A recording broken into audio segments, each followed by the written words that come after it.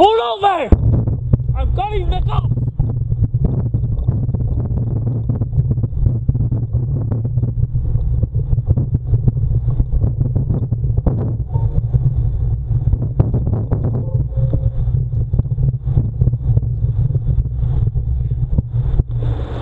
This guy just hit me and I fell off the bike. This video going to the Gardaí. Eh? An accident. You cut me off, you fucking moron. It doesn't matter. Hey, it doesn't matter. You're going to get in trouble for this.